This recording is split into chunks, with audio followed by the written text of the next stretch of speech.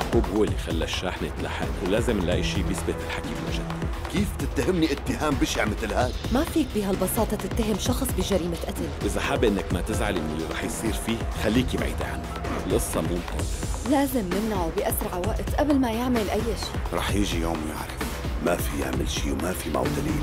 ما بكون أمجد إذا ما كشفتك على حقيقتك. شمس الشتاء من السبت إلى الخميس.